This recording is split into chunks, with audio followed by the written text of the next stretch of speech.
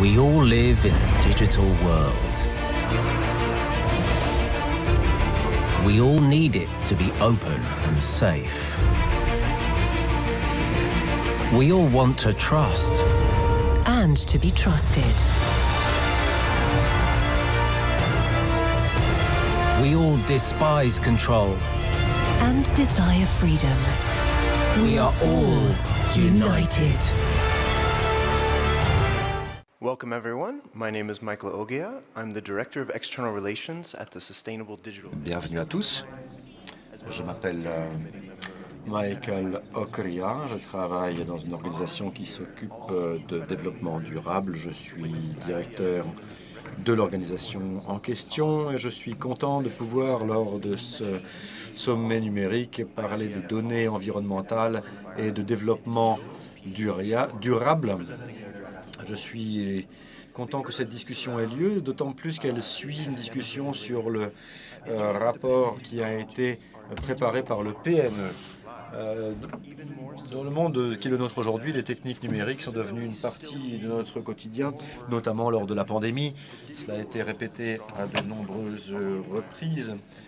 Euh, nous avons besoin de plus en plus de travaux, de plus en plus de données, de plus en plus de preuves, de données fiables, le plus fiable possible.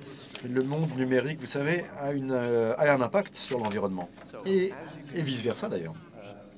Je vais vous montrer une diapositive qui vous permettra de euh, saisir visuellement euh, ce dont je vous parle. Vous voyez ici sur cet écran une liste des éléments concernant le développement durable, ainsi que des éléments sur lesquels euh, le développement des techniques informatiques peut avoir un impact, donc des aspects liés à l'utilisation de l'énergie, l'influence, le- l'empreinte environnementale, l'utilisation de diverses ressources, ainsi que des euh, les impacts, conséquences sur les communautés locales et l'environnement. Ce sont voilà des sujets sur, sur lesquels s'articulent la nature et les techniques numériques. Les techniques numériques qui peuvent être particulièrement importantes et jouer un rôle absolument significatif pour ce qui est de résoudre les problèmes environnementaux. Ainsi, ces techniques doivent être durables en elles-mêmes, équilibrées, mais aussi euh, nous aider à régler la crise climatique. Le fait de, euh, de collecter et d'analyser les données peut nous permettre de faire des prévisions, des pronostics météorologiques concernant les semaines ou les mois à venir, ce qui peut jeter une lumière, nous permettre de prendre des décisions éclairées, euh, notamment en matière d'agriculture, mais pas seulement. Grâce aux données, nous pouvons aussi euh, régler des problèmes qui ont un- une dimension locale et qui, dans d'autres, euh, dans un autre contexte, dans d'autres circonstances, pourraient être complètement euh, oubliés, sur lesquels on pourrait faire l'impasse. On voit donc euh, à quel point les données peuvent être précieuses, mais il faut aussi euh, souligner qu'il ne s'agit pas uniquement de collecter des données pour le plaisir, euh, pour le plaisir de les collecter, parce que vous savez quand on a trop de données, on a besoin, vous savez, ça demande des serveurs pour les pour les pour les stocker les données. Et, et ça, ça peut, ça, ça provoque, ça, ça entraîne des déchets électroniques et ça entraîne de la consommation d'énergie. Donc, il faut collecter et conserver des données à condition qu'elles soient utiles et, réduire les conséquences euh, environnementales négatives grâce à celles que nous, conservons. Les données, la collecte de données, c'est quelque chose qui, peut, avoir des conséquences pour euh, l'environnement et diverses parties prenantes. Il est donc important de savoir quelles, quelles vont être les conséquences de telle ou telle euh, action visant à conserver des données. Puis il faut voir aussi qui va les utiliser, pourquoi, dans quel but. Donc, euh, euh, aspect maintenant technico-pratique, logistique. Nous avons des gens qui sont dans la salle, nous avons des gens qui participent à la discussion via Internet. Observez ce qui se passe au niveau du chat parce que vous allez voir qu'il y a des commentaires qui apparaissent. Passons la- au premier tour de questions. Je vais donner la parole à ma, collègue Florine qui parlera euh, qui nous présentera les sujets dont nous avons l'intention de débattre. Euh, il y a eu un rapport, n'est-ce pas, qui a été euh, pu- publié par le PNE Florine nous en parlera un peu plus avant, dans quelques instants. Oui, merci beaucoup. Je suis connecté via Zoom. Je regarde, enfin je me connecte. Je ne suis pas connecté via Zoom, mais enfin je suis là présente à Katowice, mais je suis aussi connecté via Zoom et je, je regarde la messagerie.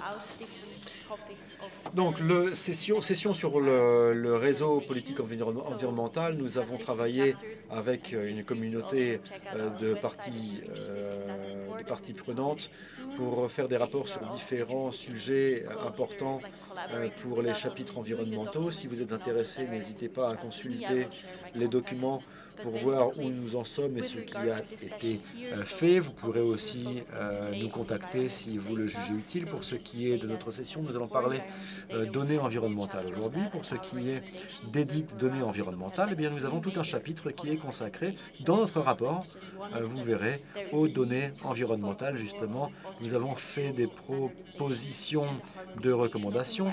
La première étant d'aller vers plus d'harmonisation, plus de, de normalisation pour ce qui est des données environnementales pour la suite. Il s'agit de faire en sorte qu'on ait un accès euh, aux données, aux autres données euh, environnementales. L'idée étant de faire en sorte que ce soit tout un processus de la collecte des données à leur mise euh, à disposition en ligne. Il faut faire en sorte que toutes les parties prenantes puissent participer à ce processus à toutes les étapes. Le dernier point, c'est la troisième recommandation. Il concerne la, le fait, le fait de faire en sorte que la coopération soit encore plus étroite pour que le euh, et en même temps plus- de plus en plus large puisqu'il s'agit d'intéresser de plus en plus euh, de plus en plus de parties prenantes. Il y a tout un chapitre sur la transparence de la chaîne d'approvisionnement, un chapitre sur la sécurité de l'accès euh, aux vivres, à l'eau potable. Euh, N'hésitez pas si vous êtes intéressé par le rapport. Il y a, euh, il y a des informations qui sont très intéressantes et je vous invite à aller voir euh, ce qu'il en est. Nous y reviendrons plus tard. Pour l'instant, nous sommes réunis ici dans un cadre de parties prenantes, de partenaires intéressés, de parties intéressées, et je vous euh, invite à poser les questions qui vous sembleront euh, pertinentes. Merci Florine pour cette introduction. Nous allons passer à la suite maintenant. Commençons donc la partie interactive de notre discussion. Euh, je vous demanderai, je demanderai à notre équipe technique de nous aider, car je voudrais afficher quelque chose à l'écran. J'espère que j'y parviendrai dans quelques instants. Ça y est, c'est bon. Je vois que le- people joining online as well as people here in the audience. We're just going to have go through a few quick questions just to help. Si vous êtes avec nous en ligne, euh, ou avec nous, avec nous en ligne, on va essayer de répondre à des questions et euh, placer les choses dans leur contexte. Je vais consacrer maintenant quelques secondes, vraiment, quelques instants, pour faire en sorte que chacun ait la, possibilité euh, sur Zoom d'aller euh, entrer dans la salle où nous parlons. Moi, je ne vois pas Zoom, hein, c'est pour ça que je suis un peu... Mais euh, j'espère que tous les participants sont là. Tout le monde est en ligne, me dit-on. Très bien. Eh bien, dans ce cas, commençons. J'espère que tout va bien fonctionner. Excusez-moi d'avance si tel ne devait pas être le cas. Première question donc, de quel pays viennent nos participants Alors, visiblement, quelqu'un voudrait savoir d'où viennent les participants, les intervenants, les intervenants du colloque, mais aussi les participants qui sont ici dans la salle. Eh bien, et, et ceux qui sont connectés aussi, écrivez dans le chat, écrivez dans la messagerie d'où d'où vous venez. Je vois qu'il y a beaucoup de gens qui viennent de Pologne, de Belgique, de Singapour. Je suis très, très content d'ailleurs qu'on ait des, euh, que, nous ayons, que nous ayons des auditeurs à Singapour. Je sais que l'heure est très avancée là-bas. Colombie, Argentine, oui, là-bas aussi. L'heure n'est pas la même. Là-bas non plus. Des Canadiens, je vois parmi nous, des représentants également de l'Amérique du Sud. Euh, je sais qu'il est très tard chez certains d'entre vous et, et très tôt chez certains autres par la force des choses. Bienvenue à tous et merci pour votre, euh, merci pour votre participation, votre motivation. Et puis bienvenue aux participants qui se sont connectés en provenance du Brésil. Nous voyons ici donc qu'il y a des participants débat, au débat qui... Oui, on voit que tous les continents pratiquement sont représentés. C'est un plaisir. Nous allons passer à la question. Quel est le groupe de parties prenantes que vous représentez? Même chose, répondez dans la messagerie, je vous, propose. Vous pouvez mettre euh, société civile, vous pouvez mettre euh, entreprise, euh, technicien, agence gouvernementale, secteur privé plus largement, recherche, université. Je suis content de voir qu'effectivement, c'est assez, assez large assez large et varié. L'éventail est assez, euh, est assez large. C'est euh, une bonne chose.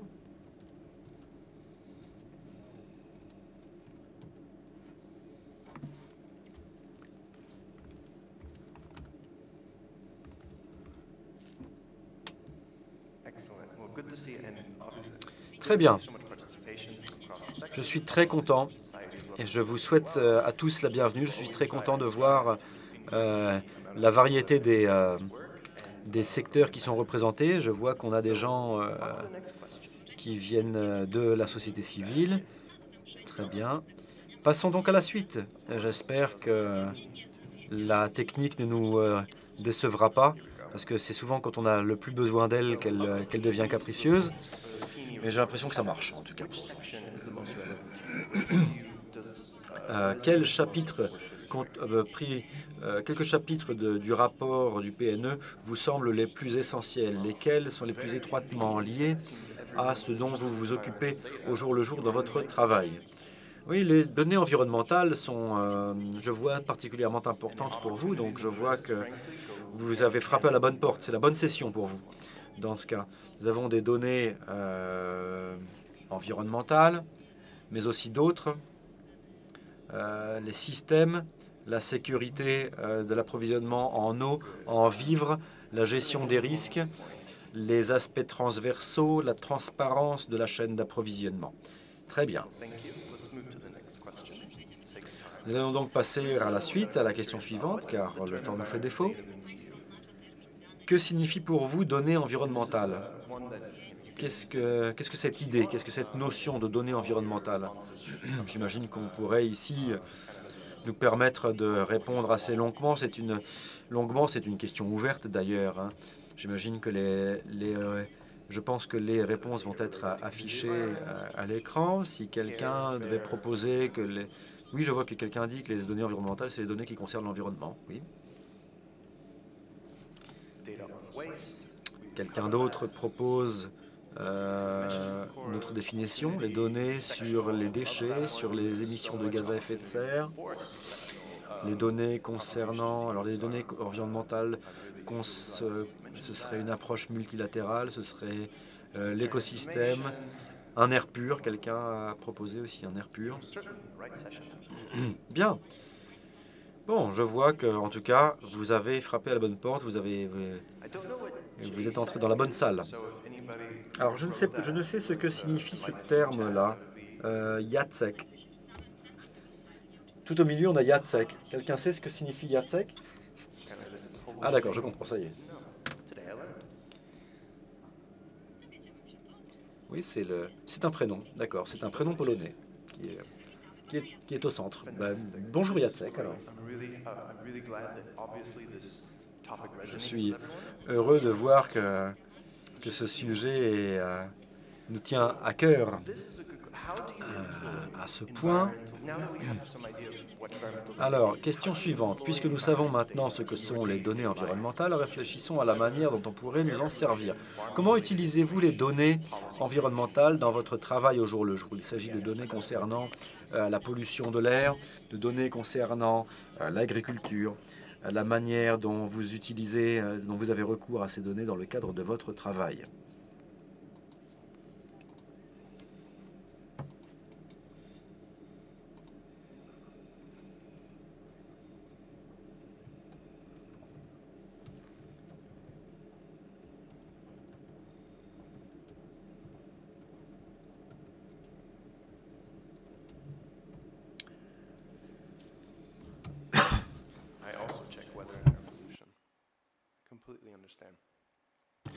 Moi aussi, vous savez, j'utilise beaucoup les données dans mon, travail au jour le jour, notamment pour ce qui est de la pollution de l'air.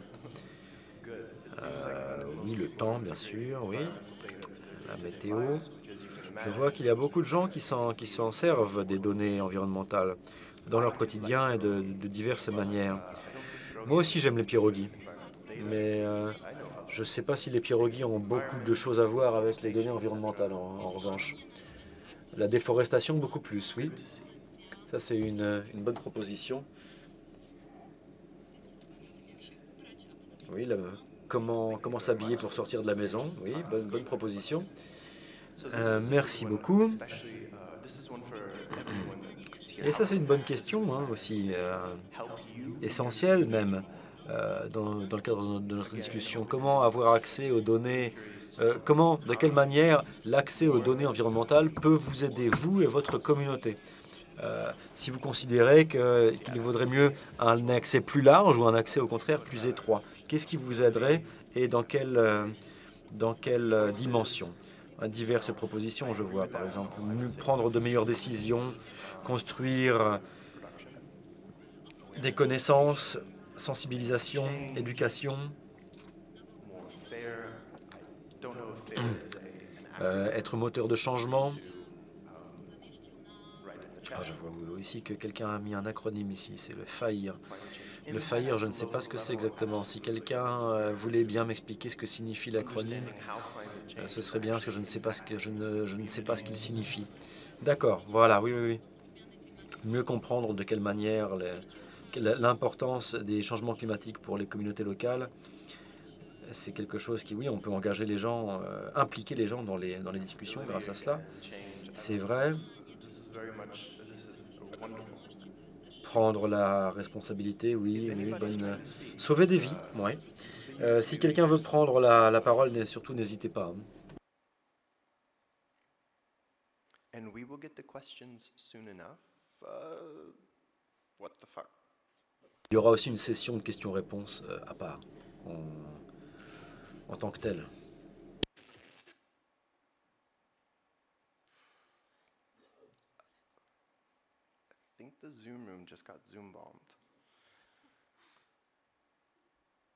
J'ai l'impression qu'on a un problème, euh, un problème, une panne de Zoom. Zoom nous aurait-il quitté?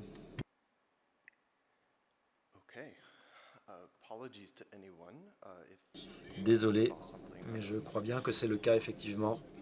Alors si quelqu'un, je ne sais pas, vous avez peut-être vu des choses que vous n'auriez pas voulu voir.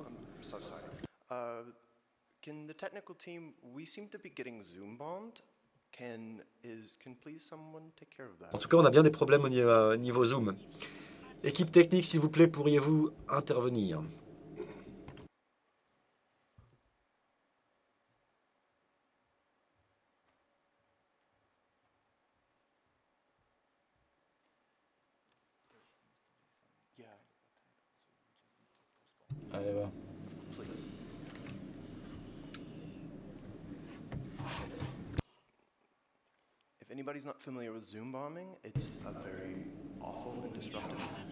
Malheureusement, euh, ça des attaques euh, contre Zoom arrivent. Ça m'est arrivé dans le passé.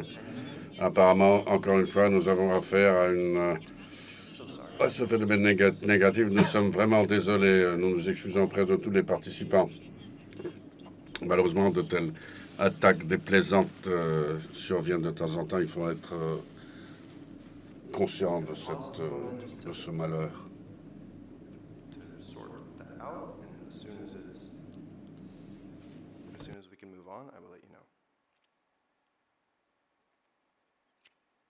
On va essayer de résoudre ce problème. Dès que nous sommes prêts, on va vous informer immédiatement. Mais nous voyons en même temps que nous avons des réponses de la part de nos participants, ce dont nous vous remercions beaucoup. Merci d'être avec nous malgré les problèmes techniques.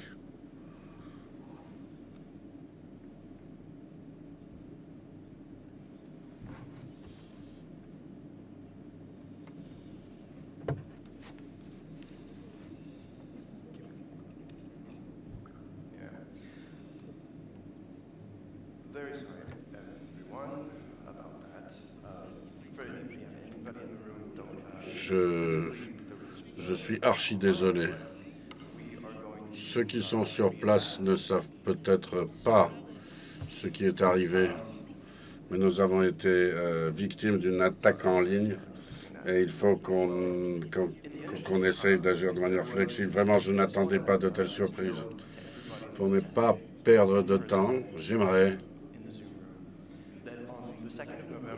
juste vous demander, les personnes qui sont présentes ici avec nous, ou celles qui sont, les personnes qui sont avec nous en ligne, de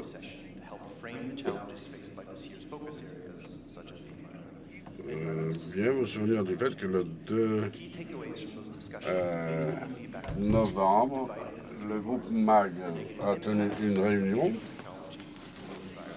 Et si quelqu'un d'entre vous ne connaît pas le programme euh, de, de, pilotage du groupe IGF, s'il y a toujours et encore des commentaires que vous voudriez rajouter, on va ramasser le feedback. Moi, je voudrais souligner tout simplement maintenant les choses les plus importantes qui étaient discutées euh, là-bas. Nous avons parlé de l'influence des E-déchets, déchets électroniques. On n'a pas parlé aussi de l'usage de l'utilisation de l'énergie et des ressources dans les centres de données. Et ces deux questions exigent évidemment des, euh, des solutions euh, multilatéral, ce qui veut dire que nous devons euh, travailler ensemble dans, le cadre des groupes euh, interdisciplinaires et internationaux. Les participants euh, ont souligné trois zones clés. La, la, construction de nouvelles capacités, surtout dans le sud, pour minimiser l'influence négative des changements climatiques et pour accélérer l'adaptation. Souvenons-nous que euh, il y a besoin de réactions mondiales pour des crises mondiales. Il est important que nous reconnaissions que dans les domaines où on manque de ressources, l'influence négative de la pollution de l'environnement et des destructions des écosystèmes est le mieux, le plus accentué. Dans la partie 3, dans la, partie 3 euh, de la session d'introduction, nous sommes concentrés sur l'influence que euh, les nouvelles politiques peuvent avoir. Là, nous faisons appel aussi à des, euh, travaux pluridisciplinaires euh, qui sont liés aussi à la question de justice sociale. Nous voulons aussi que les solutions soient adaptées, aux besoins locaux et qu'en réalisant les, les, objectifs de développement durable, qu'on prenne en compte les besoins des, des communautés locales. Nous disons aussi qu'il y a beaucoup de possibilités de coopération dans le cadre de l'écosystème de l'IGF, en coopération avec les différents réseaux pour la, pour la création de politiques, mais en coopération aussi avec les coalitions dynamiques. Le sommet IGF peut contribuer à une meilleure compréhension de ce que nous voulons dire lorsque nous parlons de, partage de, euh, de la responsabilité et euh, de la participation des parties intéressées pour la mitigation euh, de la crise.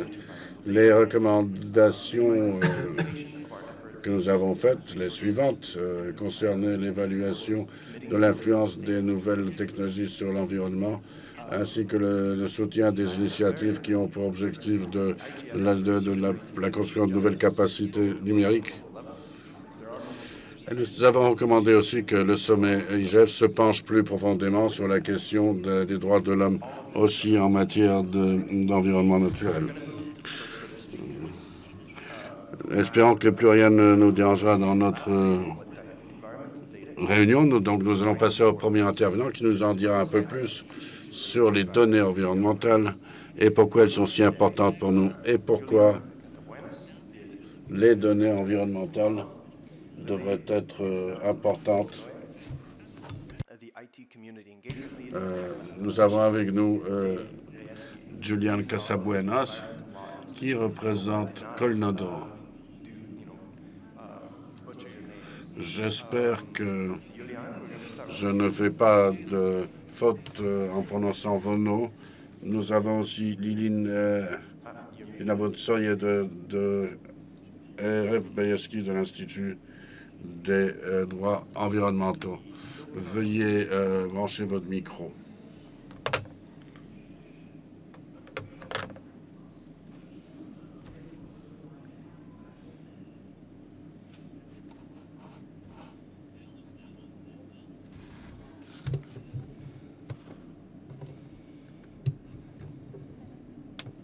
Juliana, we still cannot hear you. Lo siento. You cannot hear me on Now we site. can hear you. Murphy's Law. Malheureusement, nous ne t'entendons pas, mais maintenant nous nous entendons. Là, c'est la loi de Murphy. Tout ce qui euh, peut tomber en panne tombe en panne. On dirait que maintenant ça va mieux. Je vais parler espagnol. Je vais utiliser cette euh, opportunité que, que nous donne euh, la traduction. Là, premièrement, je vous remercie pour votre invitation pour, pour- pour participer à cette session. C'est une session qui euh, concerne euh, les sujets environnementaux, les changements climatiques et le développement durable. Dans ma présentation, j'aimerais me concentrer avant tout sur les- sur l'expérience de l'organisation du secteur de la société civile. Je suis moi-même représentant de, l'organisation- Paul Noto. Nous avons commencé notre activité en 94. Et nous sommes concentrés au sens large euh, sur euh, le développement durable et sur les solutions qui étaient censées soutenir la protection de l'environnement naturel. Et nous sommes concentrés évidemment sur la manière dont nous pouvons utiliser les outils numériques pour euh, aider le développement durable. Cette initiative qui a été à l'origine, euh, à la- de- par l'ONU, euh, il s'agissait de promouvoir des nouvelles technologies pour euh, rendre plus facile l'accès à l'information. Dans ma présentation, j'aimerais justement vous parler de cette expérience et vous dire quels, les aspects euh, dans notre compréhension sont importants du point de vue de la société civile et du point de vue de toutes les parties intéressées euh, et les personnes qui sont intéressées par le- l'environnement naturel. En 93, en Colombie, on a créé le ministère pour l'environnement. Ce ministère a été créé afin de soutenir le développement des politiques environnementales. Grâce à cela, nous avons réussi à réaliser euh, beaucoup d'objectifs créés plutôt euh, en Colombie.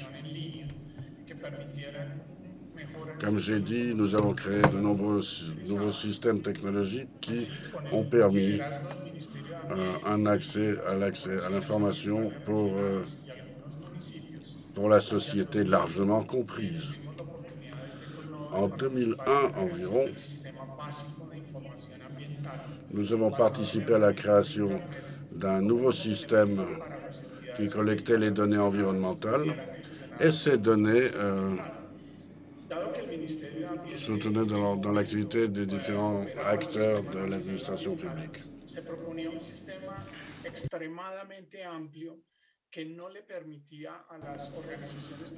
Alors, à l'époque, nous avons fait un présupposé, c'est-à-dire qu'il s'agissait de créer un système qui aiderait à gérer les questions environnementales, euh, qui aiderait toutes les administrations publiques ou des administrations publiques de- de- d'échelons euh, différents.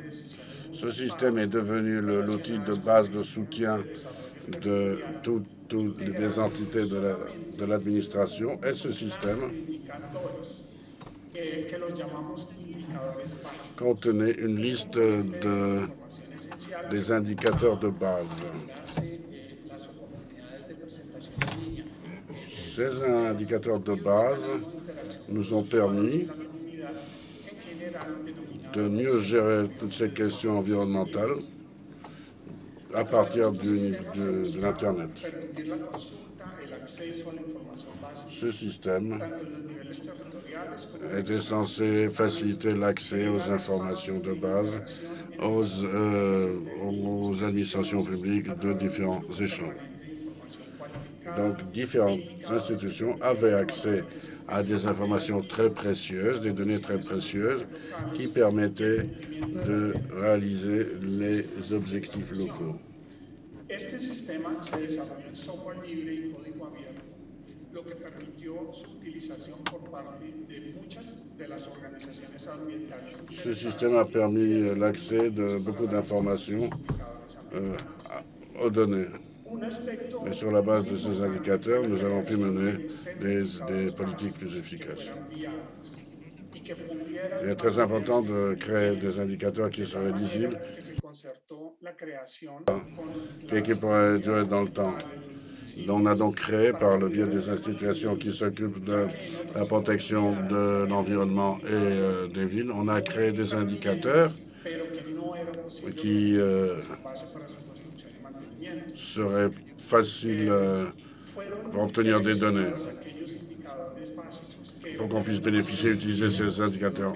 On a trouvé les indicateurs de base qui, dans le passé, auraient pu être aisément euh, exploités pour appliquer les, euh, les indicateurs de protection de l'environnement. Je pense que tout ça euh, est en relation avec le rapport pour la protection de l'environnement, sur la protection de l'environnement, en matière de normalisation et de la globalisation des données.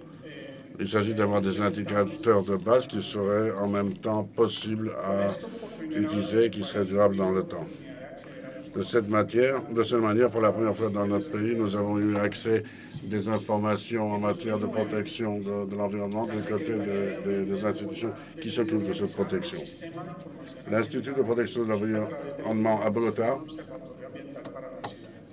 a décidé de créer un système de protection de l'environnement par le biais euh, d'un observatoire de, la protection de l'environnement. Le maire de l'époque a créé une institution de planification de la euh, protection de l'environnement pour, euh, pour agir contre les changements climatiques à Bogota, la ville de Bogota. Tout ceci, c'était dû aux engagements que nous avions en tant que, cité comme État en matière de lutte contre les changements climatiques. Nous voulions obtenir euh, des connaissances sur les ressources et sur l'utilisation possible de nouvelles technologies pour protéger euh, l'environnement. à base euh, des logiciels qui étaient, dont j'ai parlé au début, il a été possible, grâce à cette plateforme, de créer des éléments pour l'Observatoire de Bogota. Et ensuite, en 2015, nous avons, nous continué à développer le software à base de code ouvert. Nous avons créé euh, un observatoire dans les environs de Bogota. Tout ce système de contrôle, de monitoring et d'accès à l'information avec tous ces éléments euh, euh, composants s'est avéré quelque chose de très important qui nous a donné la possibilité de mieux comprendre euh, et de mieux protéger et de mieux gérer la protection de l'environnement. Donc les observatoires ont changé un élément important de gestion des politiques de protection de l'environnement. Ensuite, en coopération avec les communautés locales, il a été euh, possible d'obtenir des, données euh, à des niveaux différents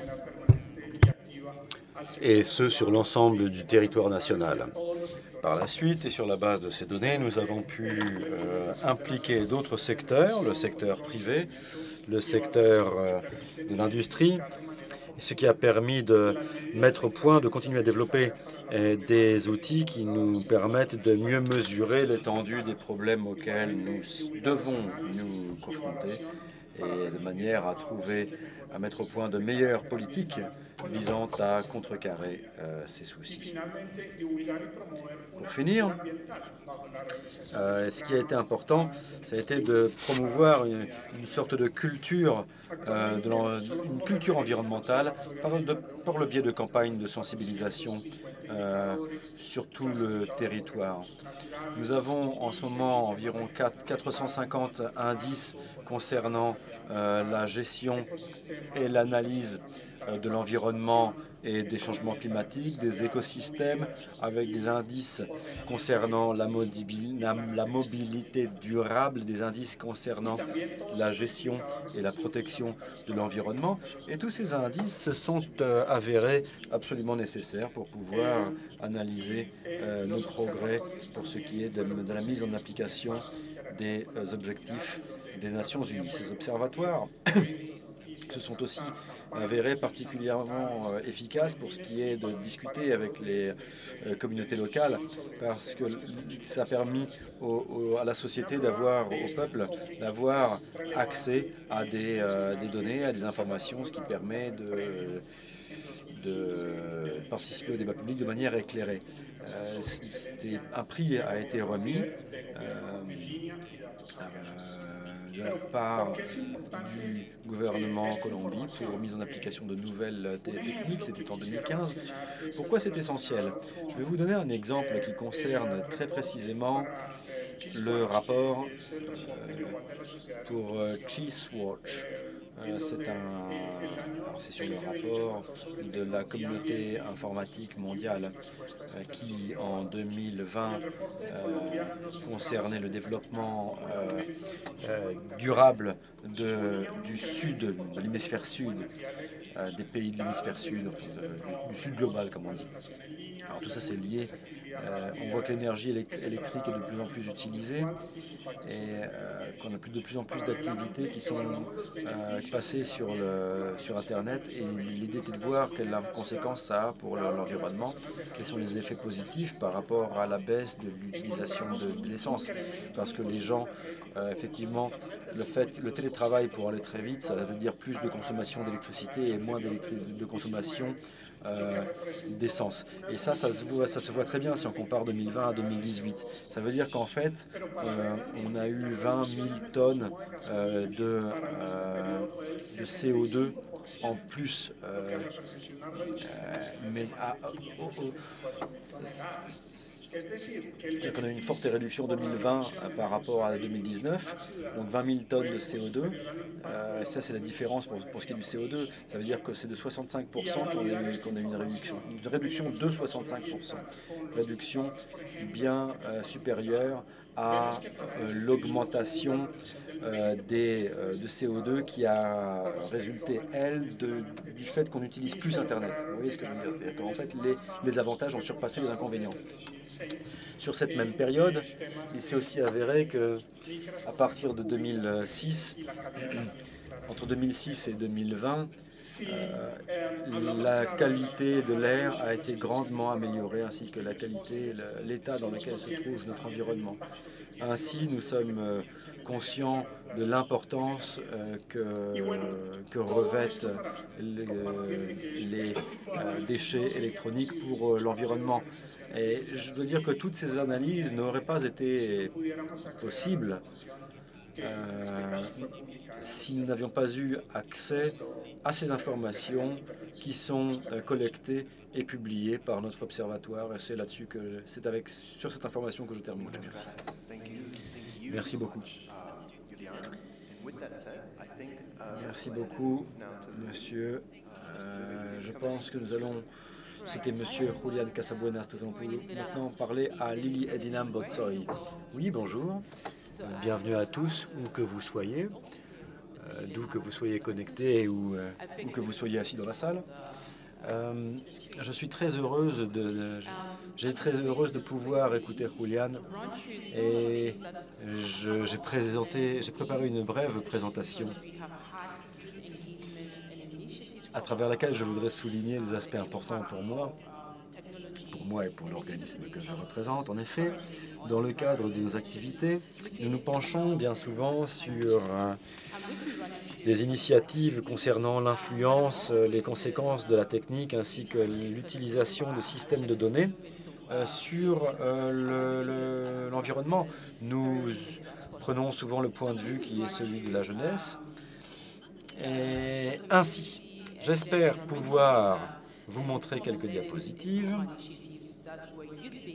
Je voudrais vous montrer quelques conclusions de nos travaux. sur la base euh, des initiatives que nous avons euh, menées. Je m'appelle Lily Betsoye et je représente euh, la fondation Hack Lab. Je suis également représentante du groupe des jeunes réunis autour de, de l'IDF. Je voudrais passer rapidement à ce qu'est pour nous euh, la conception de données environnementales. Qu'est-ce que ça veut dire pour nous euh, Et pourquoi ces choses-là sont utiles? Pourquoi est-ce qu'il faut les utiliser? Et, pourquoi il est aussi important de, de, gérer ces données?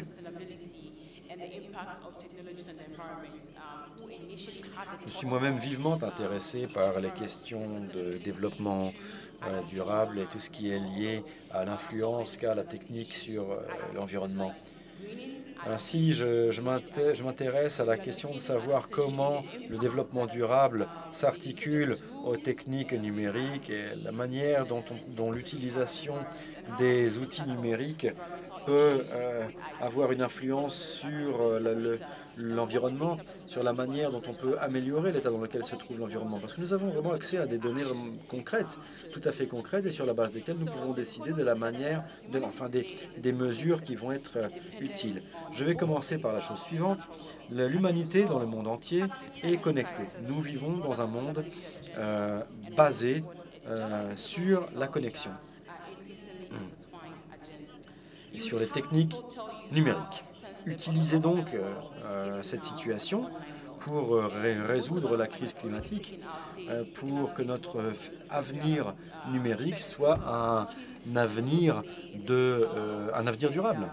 Je pense que, il faut le souligner, je pense qu'il faut le souligner parce que nombreux sont ceux parmi nous qui se demandent de quelle manière on pourrait utiliser, comment utiliser à fond, pleinement, la technique. Nous avons besoin de réponses à ces questions. En effet, nous savons que la technique peut avoir parfois des, aspects négatifs.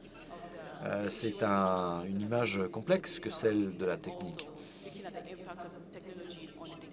Ainsi, nous devons prendre en considération les influences, les conséquences de la technique pour l'environnement, sans oublier les éventuels aspects négatifs. Donc, le développement durable, qu'est-ce que c'est? Au fond Le développement durable consiste à euh, aller à essayer d'assurer aux générations futures euh, un avenir digne dans le monde euh, qui les verra évoluer. Et pour ce faire, nous avons un ensemble de techniques. Nous avons déterminé des objectifs de développement durable. Les atteindre devrait nous permettre justement d'assurer la prospérité des, générations à venir, mais aussi des, peuples d'aujourd'hui dans divers coins et recoins du monde. Quel est euh, l'effet de la technique, de la technologie sur l'environnement? Je me souviens que lors d'une des sessions, euh, il avait été question de, il avait été dit que c'était particulièrement important. Il y avait un panel, un colloque, lors duquel quelqu'un a dit une chose qui, euh, qui m'a marqué. cet intervenant disait que le développement durable revêtait plusieurs aspects, l'un d'entre eux étant lié aux aspects euh, euh, économiques, mais il disait qu'il y avait aussi des aspects sociaux, les aspects sociaux et économiques.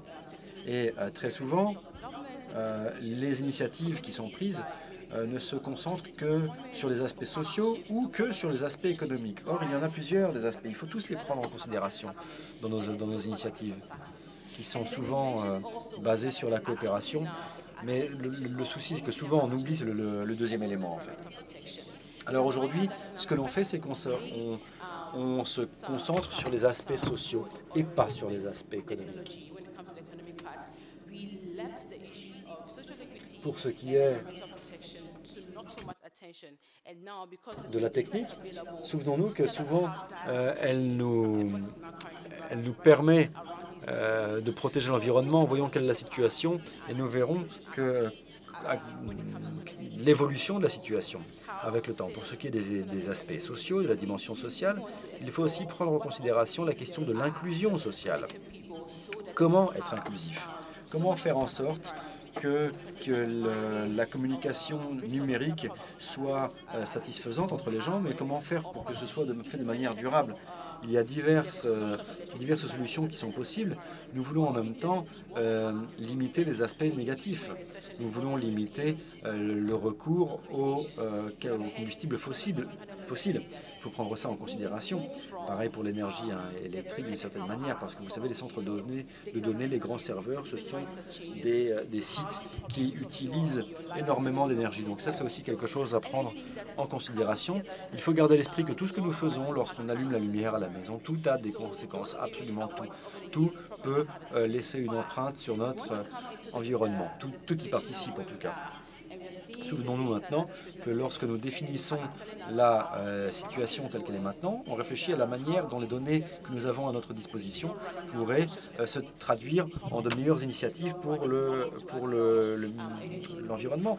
Il faut faire des efforts conscients de manière à protéger l'environnement sur une perspective euh, de long terme. Que sont donc les données environnementales? Les données environnementales sont des données qui, euh, qui font référence à divers paramètres.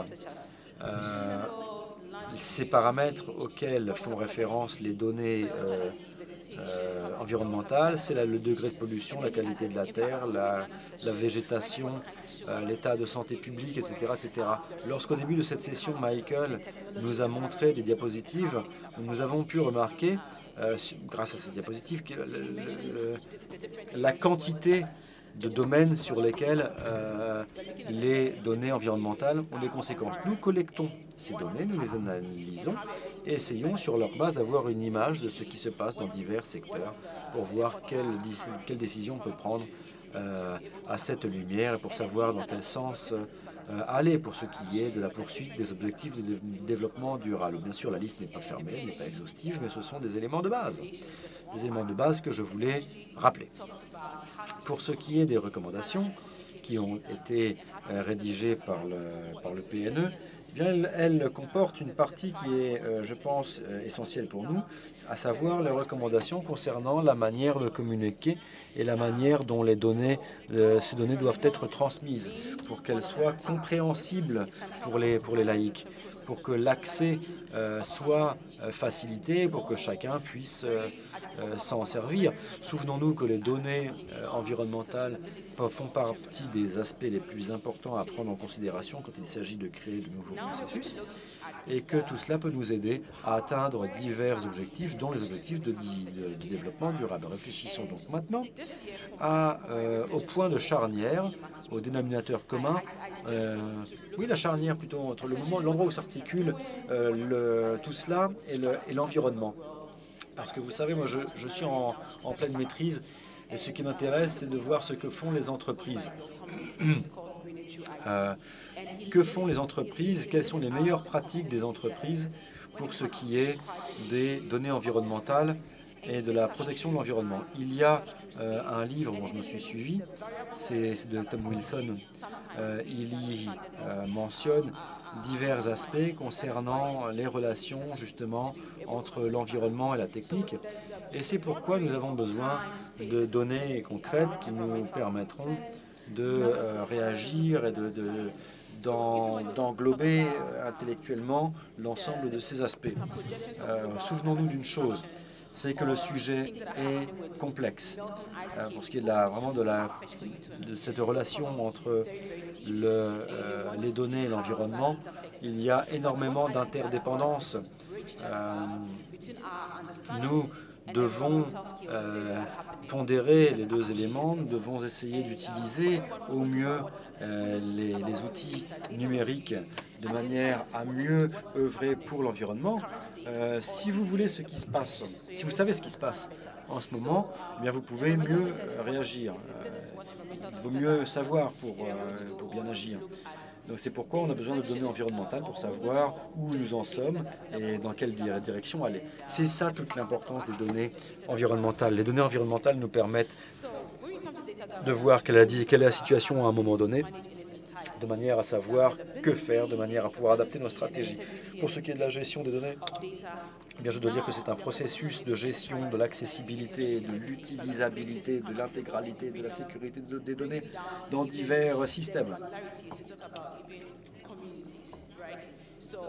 Grâce à une bonne gestion des données, les données sont toujours cohérentes, crédibles et ne sont pas utilisées à des fins autres que celles qui étaient prévues. Voilà comment on pourrait euh, résumer les choses pour ce qui est de la, euh, de la gestion en elle-même. La gestion doit être euh, efficace. Il faut faire en sorte que les données soient crédibles. J'ai discuté hier encore, je parlais avec quelqu'un qui venait d'Afrique du Sud et qui me disait que dans le cadre de son travail, il s'occupait justement des liens existants entre la technique et l'environnement. Notre discussion concernait la manière dont la meilleure manière possible d'utiliser les données euh, pour, euh, pour le bien des communautés locales qui ont leurs problèmes euh, sur place, des problèmes concrets. Donc comment utiliser au mieux les données pour prendre de bonnes décisions pour le bien, euh, pour le bien des communautés locales? Et mon interlocutrice, car c'était une interlocutrice, m'a donné plusieurs exemples sur la manière dont les communautés locales ont ou pas accès aux, informations, aux données. Mais il n'y a, pas, pas vraiment de dimension pratique, c'est-à-dire que ces données ne sont jamais utilisées vraiment pratiquement. Donc il faut bien les, justement les traiter et les gérer pour que les données puissent nous mener à des actions concrètes. Ici sur cette diapo, j'ai présenté les éléments euh, d'un modèle qui d'habitude marche euh, en affaires, euh, dans l'industrie. Mais il y a trois éléments qui entrent en jeu ici. Nous voyons ici entre autres des facteurs qui sont, qui sont des facteurs qui ont d'influence ou de pression, voire. L'augmentation du, nombre du nombre de gens sur la Terre, la pollution, ce sont donc des facteurs qui exercent une pression sur l'environnement et, euh, en fin de compte, ont le, la plus grande influence sur l'environnement. Les L'élément suivant sont les ressources naturelles telles que euh, les plantes, la biodiversité, la qualité de l'eau. Ce sont donc ces éléments euh, qui ont été influencés par les facteurs d'avant. Et enfin, l'influence et les types d'influence la déforestation, la, euh, crise économique, la destruction de l'environnement. Donc nous avons affaire à trois éléments et les trois dimensions sont prises en compte en ce qui concerne le processus de collecte de données environnementales. Lorsqu'on le fait, on devrait prendre en compte les trois dimensions de manière à ce que l'image soit complète. Et c'est très important au niveau de la recherche des données et de la collecte des données. Euh, L'élément d'influence est très important. L'influence euh, est due à l'homme, son influence sur l'environnement. Donc je souligne ça. Mais souvenons-nous que ce dialogue et la discussion à ce sujet n'arrêtent pas d'évoluer. La situation évolue, celle à laquelle nous avons affaire, et souvent il s'avère que les systèmes informatiques euh, qui concernent les données environnementales sont des systèmes qui euh, se concentrent euh, sur la manière de, favoriser le, le, développement. Souvent, ce sont des systèmes intelligents. Par exemple, les systèmes qui optimisent l'utilisation de l'énergie dans le réseau ou qui permettent d'optimiser les technologies euh, utilisées dans les euh, voitures hybrides. Nous avons aussi d'autres systèmes, par exemple les systèmes de navigation, le GPS qui peuvent prendre en compte l'élément environnemental, qui peuvent par exemple calculer la route à, faire, mais pas seulement sur la base de nombre de kilomètres, mais aussi euh, sur, la base, sur la base de laquelle, laquelle des routes sera la plus amicale pour l'environnement. Donc, dans ce contexte, ces technologies numériques peuvent nous aider à, euh, euh, à, accélérer le, développement durable. C'est très intéressant, mais malheureusement, je dois t'interrompre. Nous apprécions, mais malheureusement, nous n'avons pas le temps. Il faut qu'on avance. Peut-être pourrions-nous nous arrêter ici. Si tu as encore des remarques, peut-être vers la fin, on aura encore du temps pour que tu puisses nous en faire part. Vous faites un excellent travail keep it up, comme ils disent.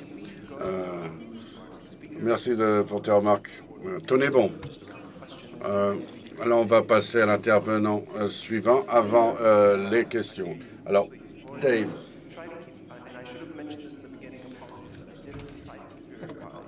Je ne l'ai pas au début, euh, mais je demande à tous les intervenants de limiter leurs interventions à 10 minutes. Merci beaucoup. Je retourne la parole. Je vais essayer de vous faire part de mon écran.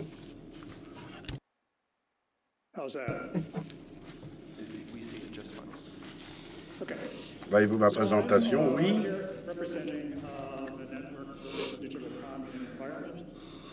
Je représente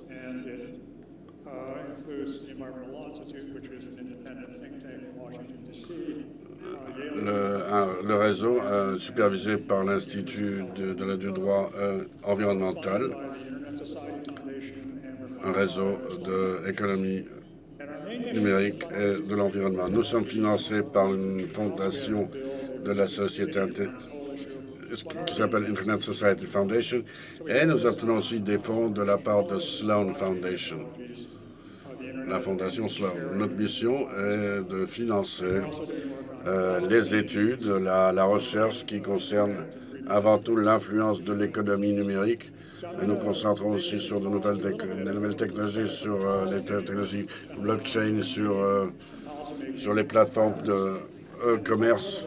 Nous essayons de nous occuper des sujets transversaux qui concernent l'espace d'Internet. Et je voudrais, j'ai l'intention de vous dire un peu du point de vue de la perspective des décideurs de ceux qui mettent en œuvre ces nouvelles politiques. Et je pense que vous ne savez pas en vérité quelle est l'utilisation de l'énergie de la technologie Bitcoin. Évidemment, cela dépend du, temps, mais ça peut être énorme, euh, comme euh, un État entier, comme le Danemark ou la Finlande. Alors nous avons décidé, il y a un certain temps, euh, à mener des études sur les études. Nous étions intéressés de savoir d'où venaient les données, d'où venaient les, chiffres, est-ce qu'ils avaient été validés ou pas, parce que nous avons découvert qu'il y avait des, divergences énormes entre les données qui, qui sont fournies, euh, des différences de, de, de technologie d'obtention de résultats.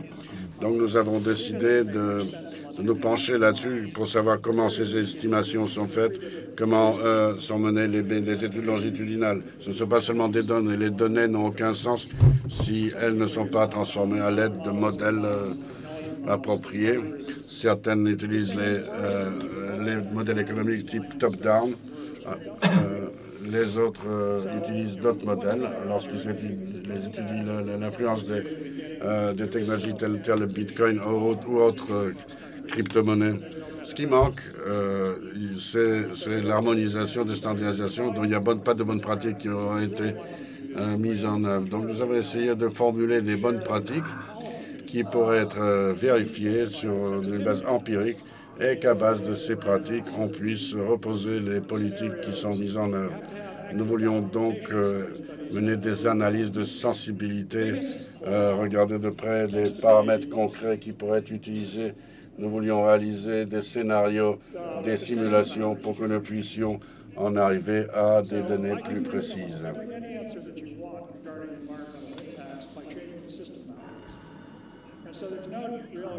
En fait, euh, en changeant les, limites du système, je pourrais, les, frontières du système, je pourrais en arriver à des résultats complètement différents sur l'influence des technologies sur l'environnement. À chaque question que vous me poserez, euh, je pourrai répondre de manière diverse en changeant les paramètres du système. Donc c'est un grand défi pour moi qu'il n'y a pas d'harmonisation, il n'y a pas de standardisation. On n'a pas de modèle qui aurait été validé, euh, de modèle d'évaluation. On fait peu d'études de, euh, de recherche crédibles. On peut dire en fait qu'il y a des domaines dans lesquels il n'y a aucune donnée c'est aussi une tendance qui est inquiétante. Les bonnes nouvelles sont que entre les pays de l'Union européenne, mais aussi aux États-Unis, de nombreuses villes se sont engagées euh, à la neutralité carbone d'ici 2030. mais nous continuons à avoir encore un grand nombre de cités qui n'ont pas d'accès aux données.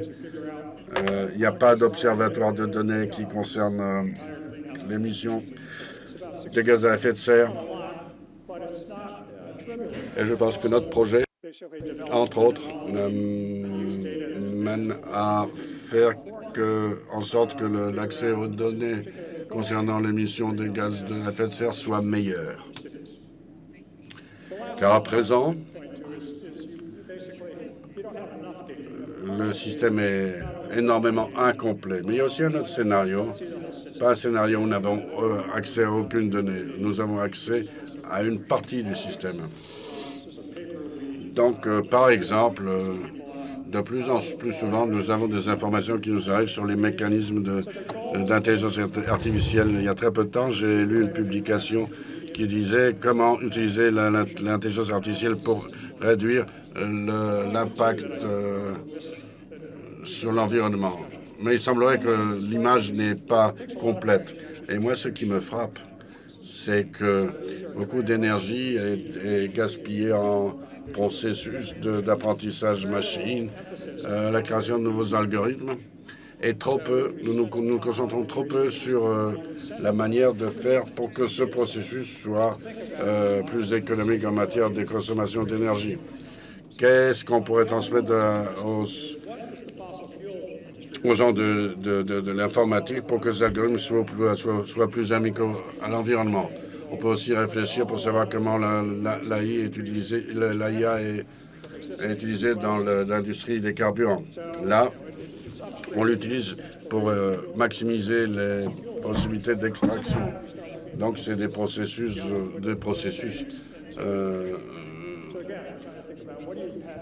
ascendants. Il faut avoir toutes les variables qui soient euh, présentes dans la euh, dans l'équation pour que les décideurs euh, puissent faire des politiques qui basent sur les, les connaissances. Ceci me mène à quelques guidelines, lignes directrices. Il faut questionner les mettre en doute les limites des systèmes dans lesquels nous faisons nos, études. Et si on reçoit des chiffres, très critique sur la technologie qui a mené aux résultats obtenus. Nous devons suivre euh, ces données de manière à pouvoir revenir à la source. Très peu d'études synthétiques sont menées. On lit rarement ce qui est en petites lettres en bas de la page, mais ça vaut la peine de le faire. Il faut toujours se demander qui finance euh, ces études qui finance la recherche Qui est derrière tel ou autre travail de recherche Demandons aux experts si nous avons des doutes quelconques. Ce sont, euh, voilà, une, ligne directrice euh, de base que nous formulons. Il faudrait euh, faire des investissements plus conscients et nous ne pouvons pas nous mouvoir uniquement sur la surface. Nous devons nous engager dans des études interdisciplinaires crédibles qui engagent euh, les euh, efforts des personnes du secteur de la science, des réseaux télécoms, des opérateurs des centres de données. Souvenons-nous que notre vie numérique a des conséquences telles et, autres, et nous devons très certainement trouver euh, plus de moyens financiers pour mener de telles recherches qui doivent être plus transversales. Et je pense que si je montre cette diapo de près, vous verrez qu'il y a cinq ans, ça avait euh, l'air d'être différent. On disait que l'économie reposerait sur, la, euh, sur le partage est une bonne euh, direction. Il n'y avait que des icônes souriantes, mais ces mots ne reposaient pas sur des études crédibles, solides. Maintenant, les études, la recherche commence à rattraper la rhétorique. On a financé récemment une, étude sur l'état des connaissances euh, sur les études concernées aux technologies numériques. Deux, des chercheurs d'Israël, deux chercheurs d'Israël ont analysé 1000 articles concernant l'influence des plateformes de copartage C'était des études qui comprenaient aussi des, essais numériques, empiriques. Il y avait aussi des articles qui concernaient l'évaluation de, l'environnement du type peer review. Donc voilà, c'était le, partage de, la nourriture, les travaux de, de, jardin, jardinage quoi. il s'avère que euh, une telle économie peut avoir des, conséquences négatives, positives, mais aussi négatives. Il y a beaucoup de, variables qui entrent en jeu qui nous pousseront vers un côté positif ou négatif. Donc, ils ne vont pas euh, arriver à des conclusions simplifiées. C'est ce que je voulais dire. C'est le site Internet de notre réseau. Vous y trouverez euh, la liste d'œuvres de publications que nous avons utilisées et tout l'inventaire de publications concernant les technologies telles Bitcoin, etc. Merci beaucoup. Tu as bien tenu les, limites temporelles et en même temps, c'était inspirant. Je, nous, nous, te remercions énormément pour ça. Avant de passer plus loin, je voulais poser la question. Est-ce que vous, ici dans la salle euh, à Katowice ou ceux qui sont avec nous en ligne, avez-vous des questions quelconques?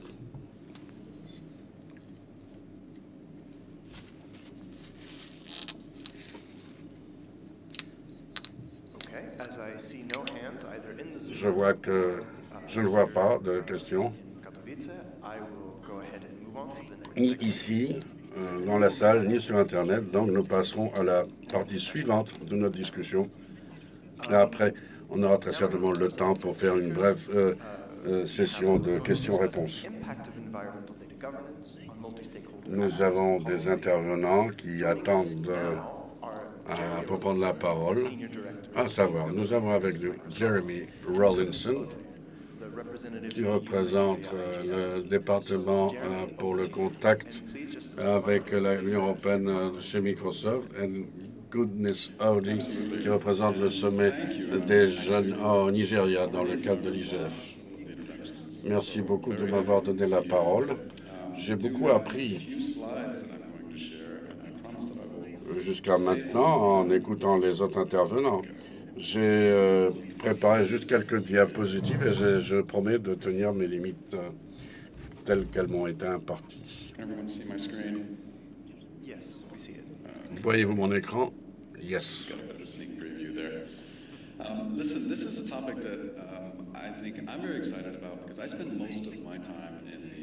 C'est un sujet qui, euh, pour moi, est très inspirant parce que j'ai passé beaucoup de temps à Bruxelles où je m'occupais de la gestion des données euh, administratives. Nous avons aussi travaillé euh, sur la question de nouvelles politiques concernant l'accès aux données et de l'utilisation des données. Et je pense qu'à présent, nous observons des changements importants concernant la, la manière de prendre des décisions chez Microsoft et aussi dans les dernières années, sous, à maintes reprises, nous avons exprimé notre, engagement pour euh, l'amélioration de la qualité de l'espace numérique.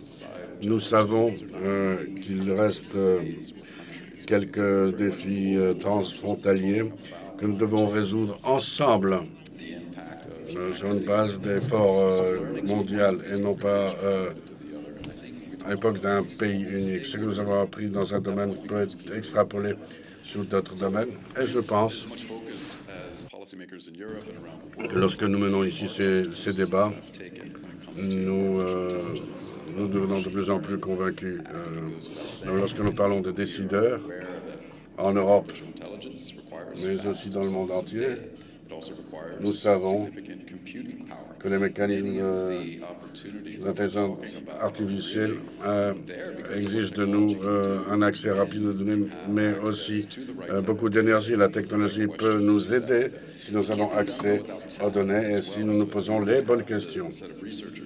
Tout ceci ne peut être obtenu sans experts, sans spécialistes qui sont munis de compétences et qui savent quelles questions poser. On parle d'écosystèmes, de, de fournisseurs qui, de, de, technologies, de ceux qui savent poser les bonnes questions et ceux qui réalisent ensuite les buts. Nous avons remarqué que nos clients, euh, partout dans le monde, étaient de plus en plus intéressés euh, par un accès à des données euh, innovantes. Il s'agit en fait, je pense, de la possibilité d'échanger des données très rapidement, d'échanger des données protégées. la majeure partie des données n'est pas n'est pas cantonnée en fait. Les données ce ne sont pas que des données en fait. Les données c'est ce que l'on peut apprendre grâce à l'accès à telle ou telle donnée. C'est ça qui est, euh, qui est important. Ainsi, pour ce qui est de la gestion des données, il en a déjà été question aujourd'hui, notamment pour ce qui est des données secrètes, des données protégées. Euh, j'ai été très intéressé par, enfin séduit par ce qui a été dit. Euh, il y a une question qui a été posée qui était, bon d'accord, il y a des données, mais comment est-ce que je fais pour avoir accès à des données en étant moi en sécurité? C'est-à-dire que mon adresse euh, IP, il faut qu'elle elle soit protégée. Et puis je veux aussi être sûr que je ne viole pas la loi. Or, les lois, c'est pas toujours les mêmes. Les lois, je ne les connais pas toujours. Selon les juridictions, selon les juridictions, selon les pays. La bonne nouvelle, c'est que euh, beaucoup de choses sont faites. Euh, en ce moment, en la matière, il y a de nouvelles techniques qui apparaissent et qui peuvent contribuer à réduire les dangers euh, qu'on évoque justement ici.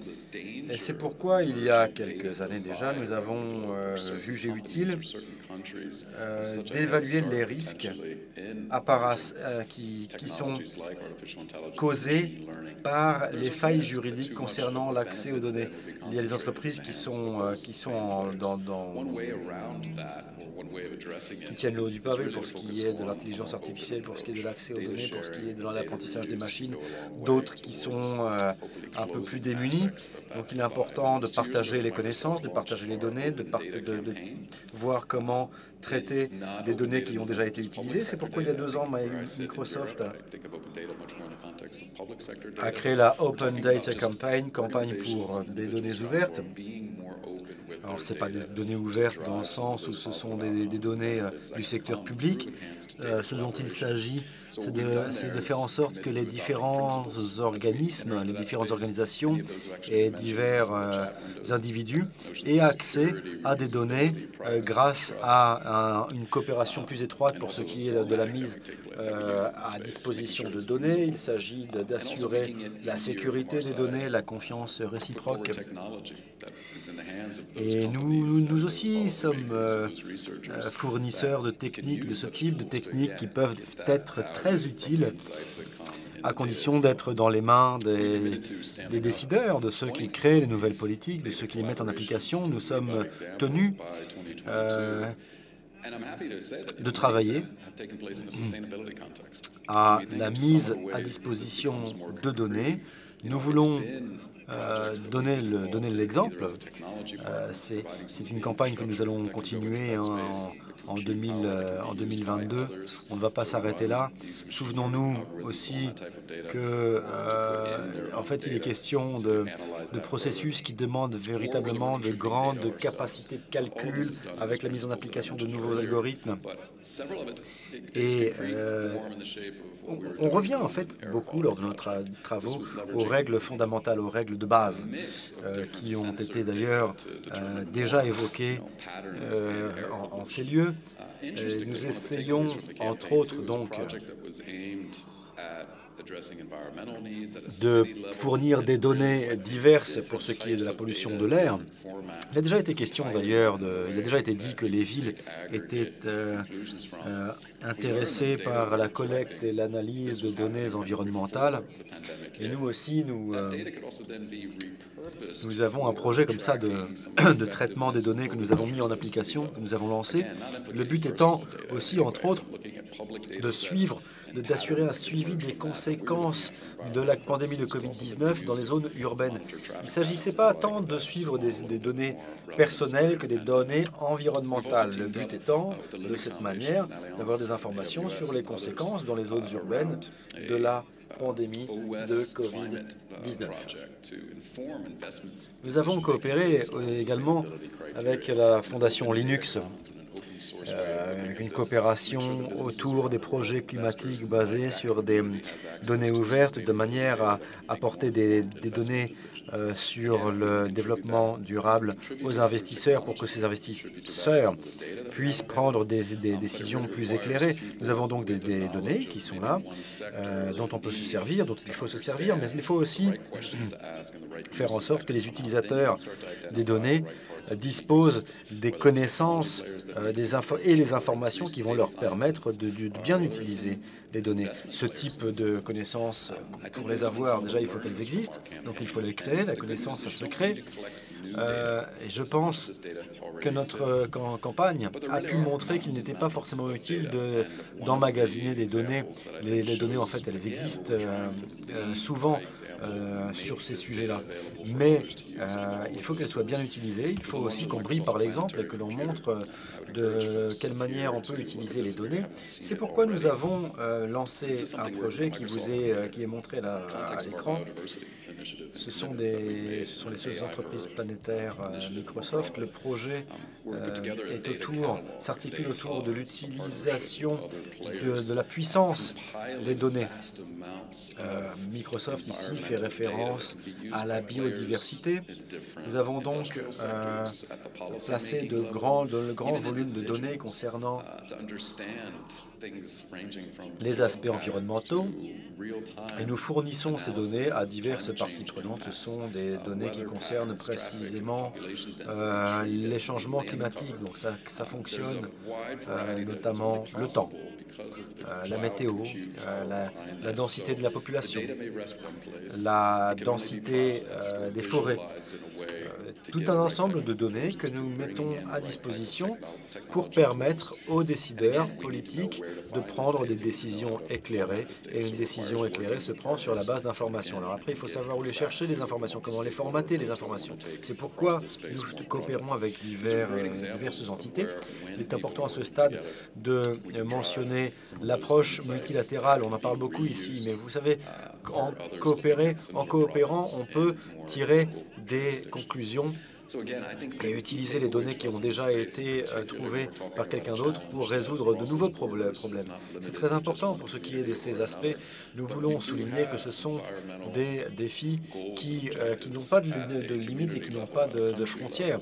Donc il faut ici déterminer des objectifs, des, des, objectifs environnementaux à divers niveaux, au niveau du pays, au niveau de la région, au niveau du monde entier.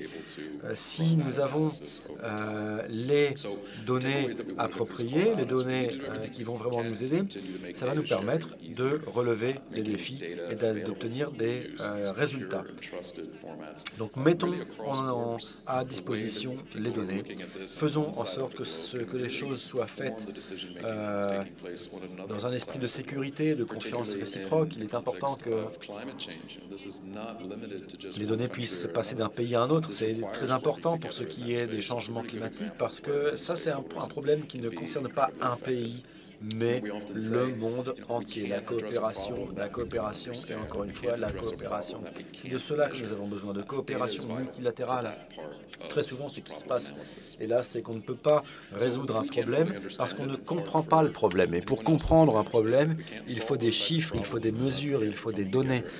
Euh, les problèmes, ensuite, euh, ce n'est qu'à cette condition que l'on peut effectivement les résoudre. Il faut utiliser la technique pour ce faire. C'est pourquoi nous entendons continuer à mettre à disposition ces données que nous avons réunies, que nous avons collectées.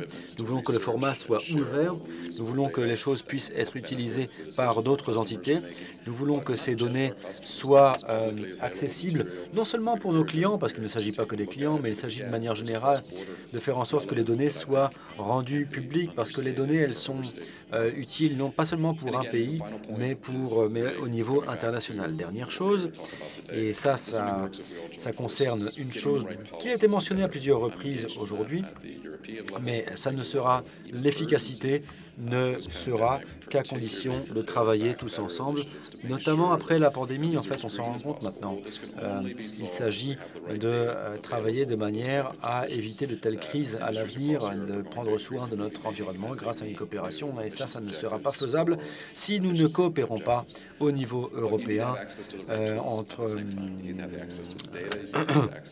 de manière transversale, c'est-à-dire entre divers secteurs économiques et entre divers secteurs privés. Donc ça dépend, ça demande des données, ça demande des compétences. C'est un projet multisectoriel, social. Il nous faut nous serrer les coudes et travailler ensemble parce que Microsoft seul n'a pas accès à tous les outils qui vont nous permettre d'agir. On a besoin vraiment d'une coopération plus large que cela pour l'utilisation des données. Beaucoup de choses sont déjà à l'œuvre, beaucoup de choses se font. C'est avec une grande admiration que je vois la direction que prennent les choses et que prennent les travaux. Nous voyons effectivement que de, plus en plus de gens euh, sont conscients de l'importance du sujet et des outils on arrive à s'adresser à de plus en plus de gens parmi ceux qui sont censés traiter les données. Je pense que les données environnementales sont des données que nous devons collecter. Il n'y a pas, il n'y a pas de, il n'y a pas d'autre voie possible. Donc il faut régler, euh, euh, régler les problèmes de cette manière. Nous voyons à quel point il y a intérêt important de travailler, de coopérer par-delà les frontières et la, pandémie l'a montré plus encore made a very good point, and that is not only national, but also the local level is really important. Oui, Jérémy. Um, Jérémy, euh, Rina, Krug, Rina Krug aussi a, importé, a parlé de l'importance de cette coopération, et c'est bien que vous l'ayez vous aussi euh, souligné dans le cadre de votre présentation. Avant de passer à Goodness, euh, donc la, la, dernière présentation, euh, côté technique, euh, merci de nous, de nous dire si on pourrait peut-être consacrer quelques minutes, si on pourrait prolonger un peu la session, parce qu'il y a eu des problèmes techniques. Mais on peut D'accord, merci. Bonne, bonne nouvelle. Goodness, êtes-vous avec nous? Je vous en prie, si tel, si tel est le cas. D'accord. Vous pouvez activer votre caméra et votre micro. Après, si vous préférez, bien sûr, vous pouvez, euh, vous pouvez avoir une caméra éteinte. Euh, l'essentiel étant tout de même qu'on vous entende. Alors, si vous, je ne sais, peut-être, euh, si, je ne sais pas si vous parlez, mais si vous êtes en train de parler, ça veut dire qu'on ne vous entend pas. Enfin, on ne vous entend pas, c'est un fait. Et si vous, si vous êtes en train de parler, ça veut dire qu'il y a un problème technique.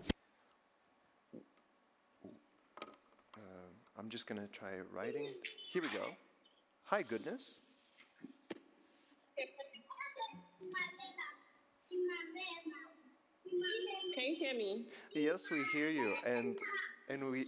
On entend quelque chose, ça c'est clair.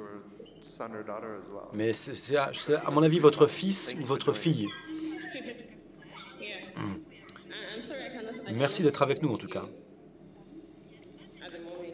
Hélas, je ne peux activer ma caméra. J'aurais voulu, mais je n'y arrive pas. Merci en tout cas. Euh, ah voilà, on vous entend. Eh bien, merci. Merci de m'accueillir.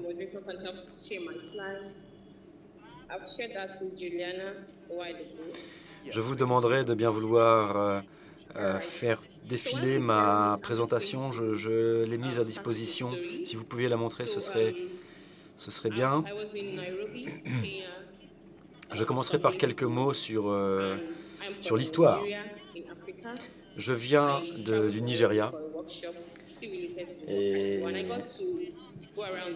j'y suis allé justement au Nigeria il y a quelques jours. Non, je suis allé à Nairobi, au Kenya. Euh, c'était pour un atelier. Un, atelier sur les techniques numériques. Et je suis, je suis allé dans un centre commercial pour acheter quelques effets. J'ai acheté ce dont j'avais euh, besoin. Et euh, je suis sorti avec euh, les articles que j'avais achetés dans les mains, mais j'avais pas de sac. Ils ne m'ont pas donné de sac. Pas de sac en plastique.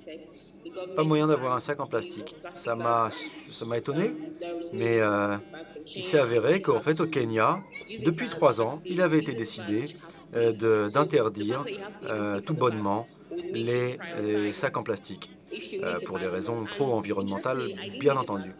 Et, euh, et, les gens, ils viennent avec, euh, ils viennent avec un sac, un sac en coton, ce qu'ils veulent, mais euh, avec un sac, un sac à eux. Et bien sûr, on peut acheter un sac, mais vous savez, quand c'est quand c'est pas gratuit, les sacs, les, gens, les gens ne, les gens n'en abusent pas. J'ai réfléchi, j'ai réfléchi, et, et ça m'a ça m'a permis de changer un peu de, de point de vue sur le problème de perspective. Je dois dire que l'environnement est c'est quelque chose dont on ne saurait exagérer l'importance de l'environnement. Et les implications sont diverses, variées et, et lourdes de sens. Que peut-on faire pour améliorer l'état de la planète sur laquelle on vit, quel que soit l'endroit où on vit Qu'est-ce qu'on peut faire? Qu'est-ce qu'on peut faire? Comment on peut agir pour protéger l'environnement? Je voulais aussi euh, partager une anecdote pour vous montrer un peu le, quels sont mes centres d'intérêt? Euh, j'attends encore les diapositives. J'aimerais vraiment beaucoup vous, vous montrer ma, ma présentation et, dire que nombre de mes amis euh, sont heureux de voir que autant de choses sont faites en Afrique également. Il y a beaucoup d'efforts qui sont placés, qui sont faits pour qu'il y ait des initiatives visant à nous assurer une meilleure protection de l'environnement et un développement plus durable. Je vois hélas que ma présentation n'est toujours pas affichée. Euh, vous... Il y a une amie, qui, euh, Samina, qui s'est adressée à moi, qui m'a contacté, qui m'a dit qu'effectivement, elle appréciait les efforts entrepris, euh, les mesures prises dans le cadre, alors après, après des ateliers justement en développement durable, parce que c'était des ateliers pour les jeunes, vous savez, euh, qui, qui, s'étaient organisés pour réfléchir à ce que, en tant qu'individu, pourrait faire à leur, à leur humble niveau pour aider le monde à atteindre ses objectifs de développement durable. Parce que vous savez, ce sont les jeunes qui ont, la, qui ont le plus la main. Euh, et ce sont les jeunes qui, euh, depuis leur plus jeune âge, devraient, euh, doivent essayer de s'engager et d'essayer de, faire en sorte que les, que les, décideurs prennent les décisions qui s'imposent. Dans mon pays aussi, il y a tout un ensemble de groupes qui, qui, rassemblent des jeunes. Et en effet, les jeunes, souvent, ce sont les plus motivés, ce sont, ce sont les plus motivés par le changement. Donc euh, ne pensons pas, il euh, ne faut pas voir les jeunes comme des, comme des, comme des gens qui, euh, exigent, exigent, exigent. ils ne font pas que vouloir, ils ne font pas que exiger, ils agissent beaucoup. Ils agissent et, ils font leur part du travail. Ouais, c'est ce qui se passe au Nigeria aussi, d'ailleurs. Euh, au Nigeria, euh, justement, euh, il y a divers groupes qui sont actifs, comme un groupe de, jeunes porte-parole, par exemple, pour la lutte contre le changement climatique. Je pense qu'il faut comprendre dans ce contexte que le climat euh, ce c'est pas qu'il va changer, il change déjà. C'est pas, la question n'est plus de savoir s'il est, est vrai que les changements auront lieu. Le fait est qu'il a déjà lieu. Donc les jeunes s'organisent d'eux-mêmes et euh, font, peuvent faire et font beaucoup de choses pour le climat. Euh, désolé pour le bruit derrière moi, mais le développement durable, c'est un, c'est un phénomène. C'est un phénomène désirable mais pour qu'on euh, pour qu'on puisse rêver d'un développement durable, il faut adopter une démarche inclusive. Pour que chaque partie prenante puisse être engagée dans les processus. Des, rencontres telles que le sommet numérique organisé à Katowice peuvent être justement euh, s'avérer être des plateformes nous permettant de discuter de ce qui se passe. Ça nous permet aussi de montrer de quelle manière nous, en tant qu'individus euh, répartis euh, de par le monde, nous pouvons nous aussi nous mobiliser et nous battre pour, contre le changement climatique. On remarque que le niveau des mers et des océans euh, monte. Nous observons des sécheresses dans certaines régions du dans certaines régions de notre pays ou euh, du monde entier. Nous voyons des, des inondations ailleurs. Donc tout ça sont, sont, des choses qui se passent réellement. Et nous devons en être conscients. Donc ce sont des choses qui se passent. Il y a aussi des données qui sont collectées au sujet de ces phénomènes. Et parfois, peut-être, nous n'avons pas assez d'accès à ces données mais nous devons veiller à un tel accès, car si nous avons accès aux bonnes données, nous pourrons réagir de manière appropriée aux phénomènes qui ont lieu.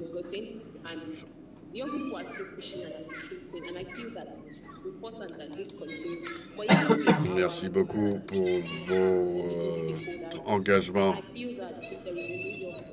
euh, pour le travail qui va impliquer plus de jeunes gens dans ces actions. J'espère que nous commençons. Nous faisons que commencer ce processus. En vérité, euh, nous en sommes au tout début de notre chemin.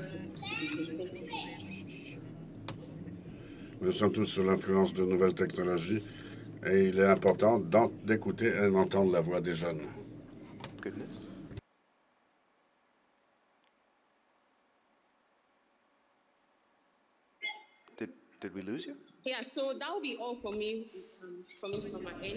Nous ne t'entendons plus. Mais en fait, c'est tout pour ma part.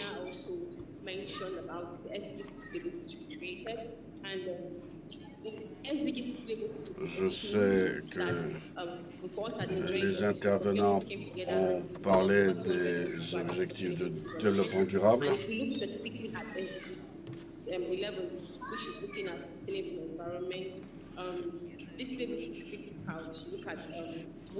Et lorsque nous parlons des euh, différents objectifs de développement durable, euh, ce qui est important, c'est surtout le 11.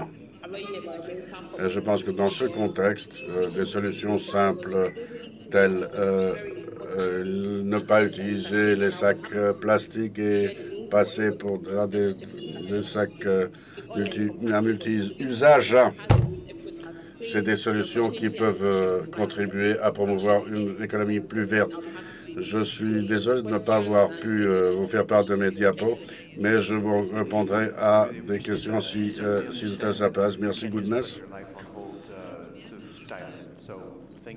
Nous comprenons que tu ne puisses pas euh, stopper ta euh, vie euh, quotidienne. Ne t'en fais pas. Ne t'en fais pas de ne pas avoir été vu par nous. Mais nous manquons un peu de temps. Merci d'avoir euh, de permis de nous avoir permis de prolonger notre session. À la fin, je voudrais vous montrer tous nos intervenants parce qu'il y aura des questions. Je, je crois que j'ai vu une question dans la fenêtre du chat. Avant de passer à cette question, je vais encore euh, demander si euh, les intervenants auraient des questions à se poser mutuellement ou peut-être qu'il y a eu quelque chose de controversé avec quoi vous n'êtes pas d'accord, veuillez nous euh, veuillez faire un commentaire si nécessaire.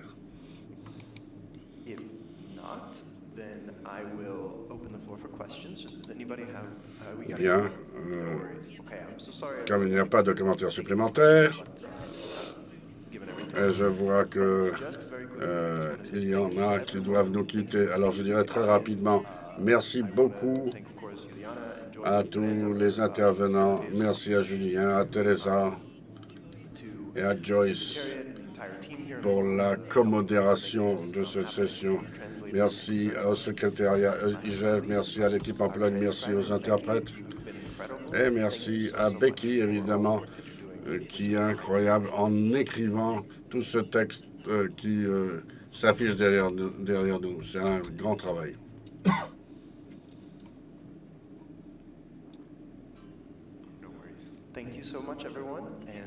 Un grand merci.